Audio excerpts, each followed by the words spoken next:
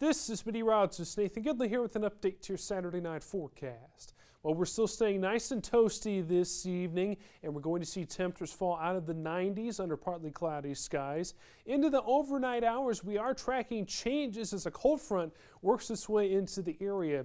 Now, ahead of and along this cold front, we're tracking showers and thunderstorms. Some of these storms could be on the stronger side as Futurecast depicts a line of storms working its way through the area.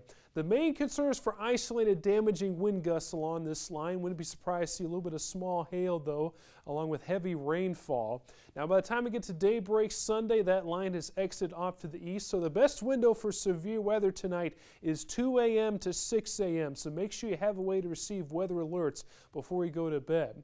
We'll start the day off Sunday with temperatures in the 70s, and it's still going to be quite humid throughout the morning hours, with still some additional isolated showers and thunderstorms. As we get to the afternoon, no, we're going to dry out. We see the clouds decrease and lower humidity levels work their way into the area. Ah, we're looking forward to this. Going to see a high temperature 84 degrees in Fort Wayne on Sunday. A nice refreshing west northwesterly breeze. Could see some gusts up to 30 miles per hour at times.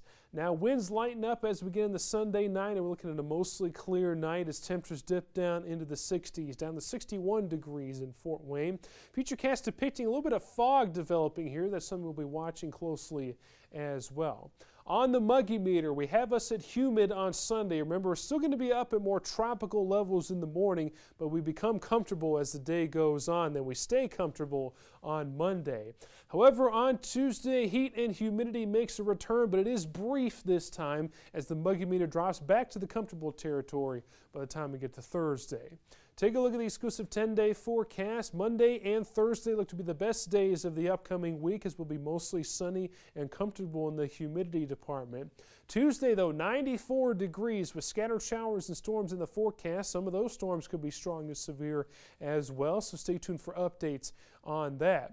We're back to the lower 90s again by Saturday, then, with more showers and storms, but back to the lower 80s once again by July 1st. So, an up and down forecast here, and we'll be tracking these thunderstorm chances for you closely.